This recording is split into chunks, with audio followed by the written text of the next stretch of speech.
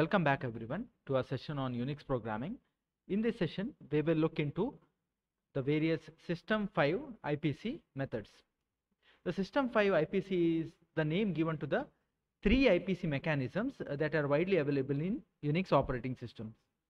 They are message queues, semaphore and shared memory. So we will be looking each one of these IPC methods in detail in the upcoming videos. For today's session, we will be looking into the common uh, similarities or common features among all these three. First, let us see the concept of identifiers and keys. So each IPC structure, when I talk about each IPC structure, I am talking about the message queues, uh, semaphores and shared memory. Okay, so each of these IPC structure in the kernel is referred to a non-negative integer called as identifier. So each of these structures are uh, known with the integer value and it is called as identifier.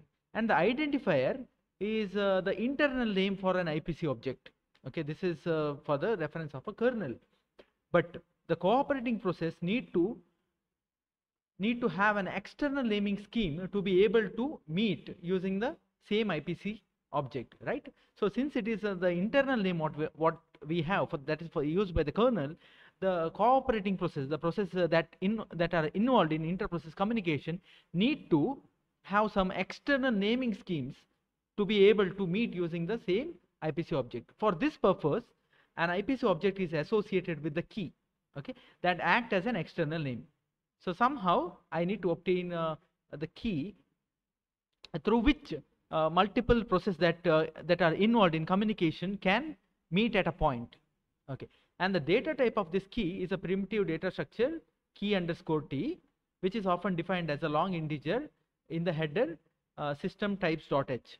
Okay, so this is nothing but a, long integer, but uh, we however we we are not supposed to use int or long directly. So the rather we make use of key underscore t. That is because the length of the key is system independent or rather system dependent sorry the key the length of the key is system dependent so i cannot make use of the key type as long or integer directly okay rather it has to be defined as key underscore t and this key is converted into the identifier by the kernel okay?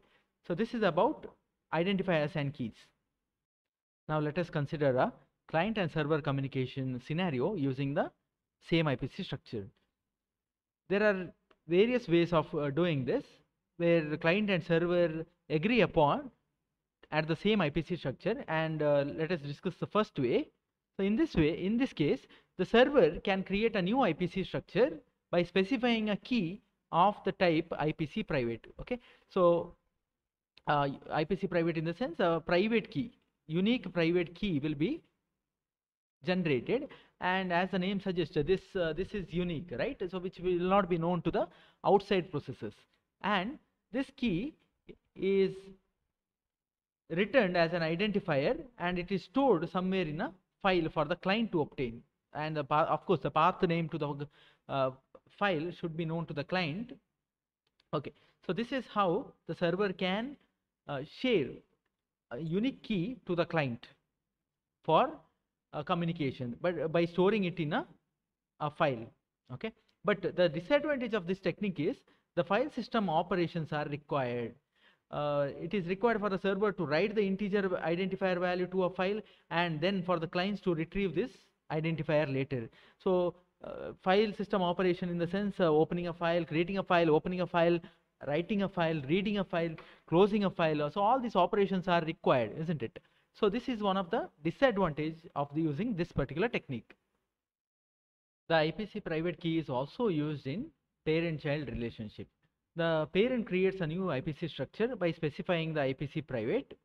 So unique key is generated here and this key is converted to an identifier. And uh, it is then made to made available to the child after fork. Okay. So a parent, yes. So parent will be able to obtain a unique key which is converted into an id and after fork system call automatically the child will also receive this id right and uh, the child is then um, made to pass this identifier to a new program as an argument to exec function so using the exec function so whatever this uh, id that is generated from the key is made to pass to a new program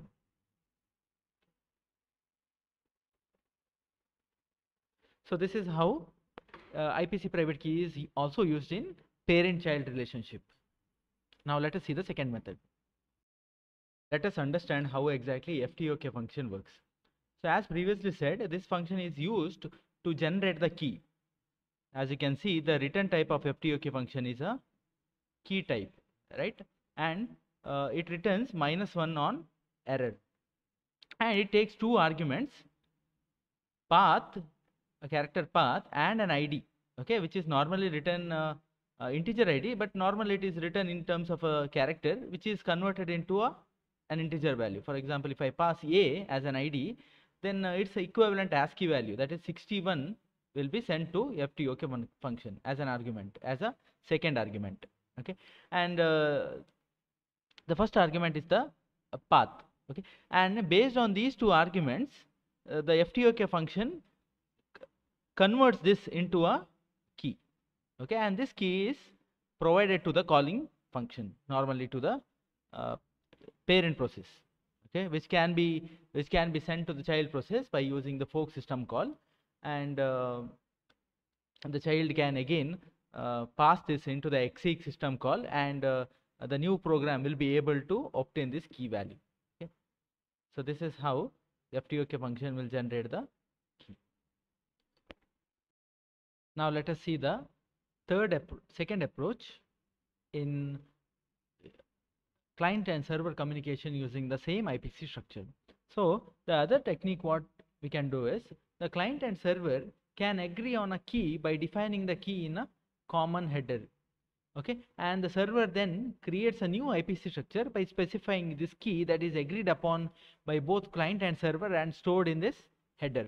But the problem with this approach is that it's possible for the key to be already associated with an existing IPC structure. So in that case, the server has to handle the error by deleting the existing IPC structure and try to uh, try to create it again. Okay, so this is the second approach.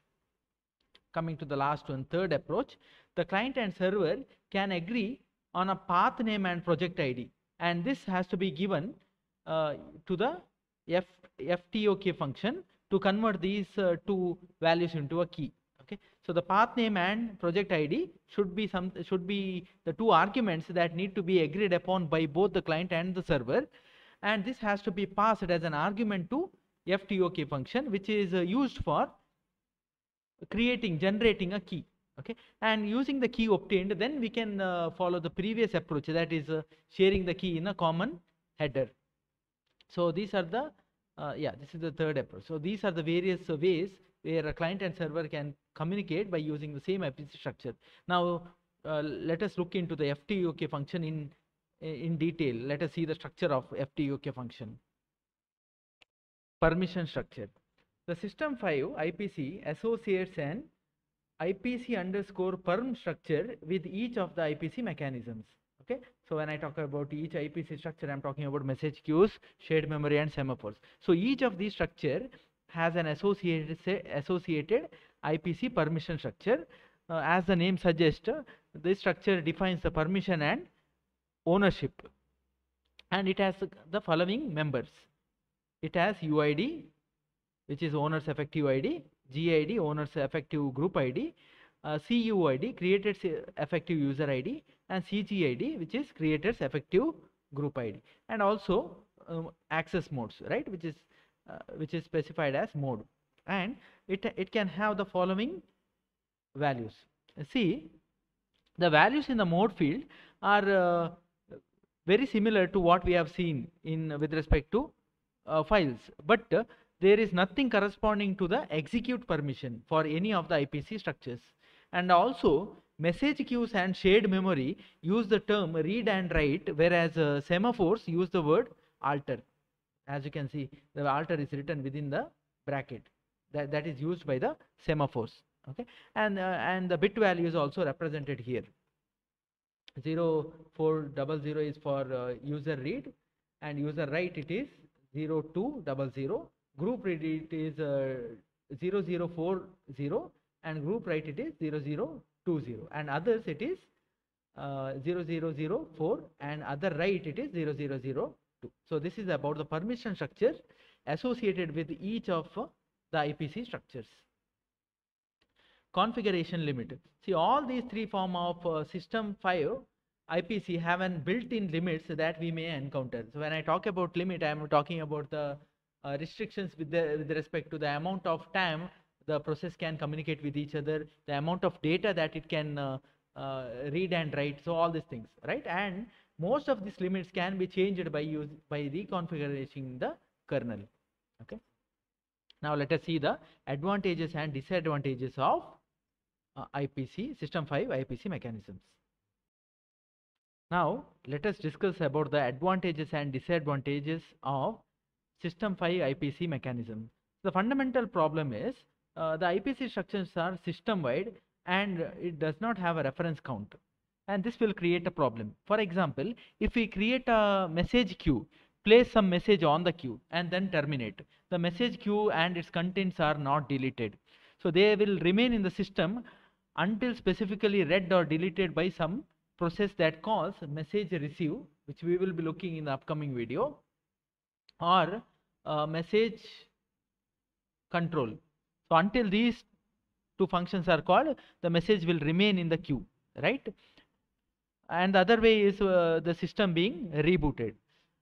If you compare this with the pipe and uh, FIFO this problem is not present because uh, pipe will be removed completely when the last process uh, to reference it reference it terminates so as as the process uh, terminates the pipe also gets terminated uh, with the FIFO the name stays in the file system uh, until explicitly removed but any data left in the FIFO is removed when the last process to reference the FIFO terminates right Another problem with the system 5 IPC is that the IPC structures are not known by their names in the file system. So if that is the case, then we can't access them or modify their property with the functions, right? And uh, it is not possible to view the objects, IPC objects with an ls command. We can't remove them with, by using the rm command and we can't change their permissions with the chmod command. So these are the problems are, that are associated with uh, system 5 IPC structure. And the last one, the IPC uh, system 5 IPC, it don't make use of file descriptors. So we can't use the multiplexed IO functions such as select and poll with them. And this makes it harder to use more than one of these IPC structure at a time or to use any of these IPC structure with the file or uh, device input output file. For example, we can't have a server wait for a message to be placed on one or one of the two message queues without some form of a busy wait loop. Of course, there are few advantages. For example, the message queues that are uh, very reliable and it is flow controlled, record oriented and can be processed in an order other than first in first out, which is uh, uh, which is the only way how we can process when it comes to pipe and FIFO, right? So th th there is an advantage along with the disadvantages of using the system 5 IPC mechanisms.